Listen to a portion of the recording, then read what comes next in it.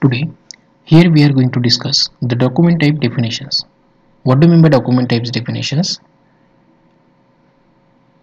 of internet programming subject? Now, what indicate document type definitions? Document type definitions DTD describe the legal element of XML document. What it indicate? It indicate the legal elements of XML document. That means it describe the more precisely structures of your documents what are the structures you have that structure को define करने का काम हमारा DTD करता है that is very important related to DTD now what is next point point here we have in simple word we can say that the DTD define the document structure with a list of legal elements and attributes what are the elements here we have what are the list of legal elements What are the list of legal elements here and what are the attributes here we have related to that? That is very important related to DTD actually DTD and XML schema both are used is in the form of WebForm and XML documents. Yes it's very true. We should avoid the error in XML document because they will stop the XML programs. In single DTD can be used in many XML files document type definition data sent along with the DTD known as a valid XML what it indicate the valid XML data sent along with the DTD is known as a valid XML because DTD is used to describe the data more precisely. Uh, data nothing but a structure more precisely that is very important related to DTD in DTD we are going to use the parser what here we are going to use? Parser. The XML parser could check the incoming data against the rules defining the DTD and make sure that it was a structure incoming. Data sent without DTD is known as a well form XML both valid and well form XML recorded data is in self of uh, self descriptive since the descriptive tags are intermixed with the data. DTD helps to ensure that the different people and program can read each other files what is what is the use of DTD DTD helps to ensure that the different people and the programs can read the data each other. DTD define exactly what is and now allowed to appear inside the documents. Here again we uh, when we use the DTD we are going to use the parser concept. What indicate the parser? A parser is a piece of information that takes the physical representations of some data and convert into the in-memory form. It has validating and non-validating. The parser does not check the document against the DTD, only check that document is well formed. Then it is a non-validating. What do we indicate validating? In addition to checking the well-formedness and parser verifies that XML document conform to a specific DTD that is the XML file is written as per the defined by the DTD what do you mean by validating what are the defined in the DTD that can be used in the validating form? That is very important related to parser. What do you mean by XML parser? An XML document is well formed if it is formed all the rules of well formedness.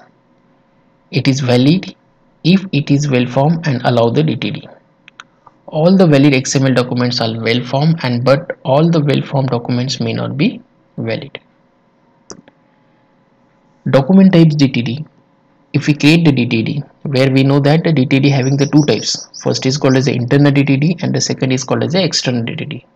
Whenever we create a DTD the file of extensions of DTD is the .dtd that is called as a if, if we consider the example if xyz is file name and then that file name is stored with the .dtd extension. That is very important related to DTD DTD is a document which serves the following purpose. Specify the valid tags that can be used in XML documents. Second point here we have specify the valid tag and specially sequence arrangement. Specify whether the white space is significant is ignored. It sequence is very important if you specify the name address phone number you are going to use the name address phone number. The DTD used by the XML document is declared after the prologue.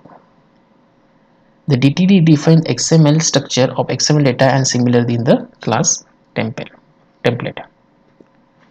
Here we are going to see the one concept DTD or simple XML DTD consists of like say uh, square bracket character. Here you uh, you can see the character followed by the series uh, series of markup declarations. What are the different types of markup declarations here you have? Followed by the right square bracket. Okay. Xml version 1.0 standalone as document type message bracket that is called a square bracket. Element message that in the angle bracket basically. Elements message any message here we close it and close it. The message is most simplest xml document okay so this is related to simple xml specifications. The main features of dtd what are the features of dtd dtd is a simple language with only four type statement document type element and entity. Okay document type statement define the one document type.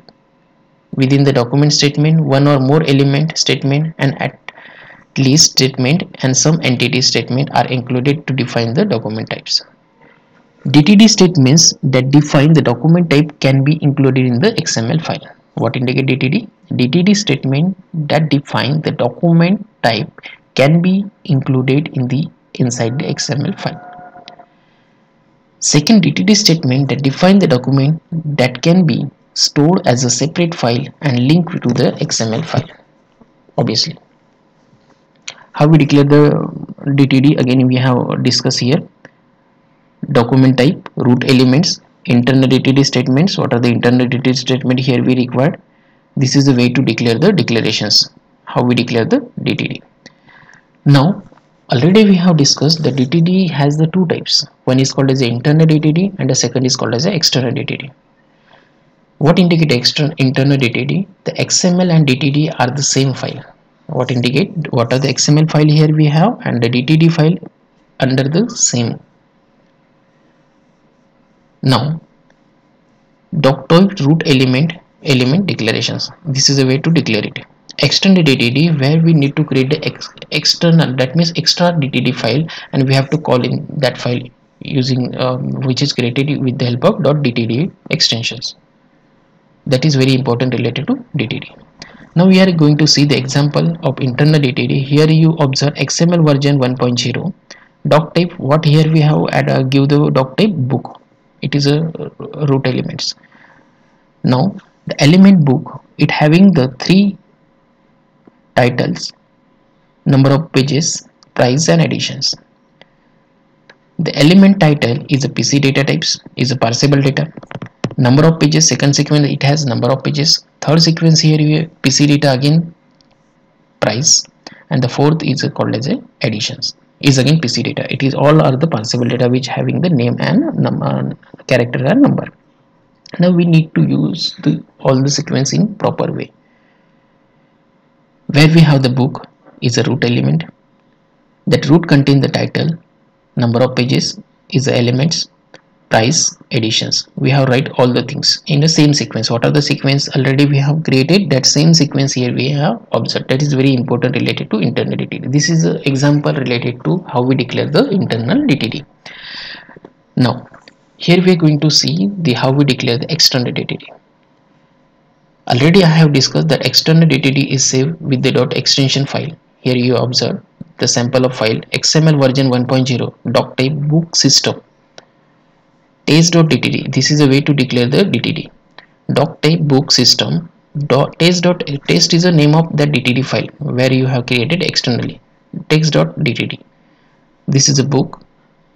Title xml product references book number of pages price editions and book where we call in file. This is external dtd where we have created. Test.dtd element book what are the title number of pages price and editions where we already we have created in externally? That text.dtd we have called in this file. How we call this file? This file we can call with the doc type book system text.dtd so this is example related to internal dtd and external dtd so thank you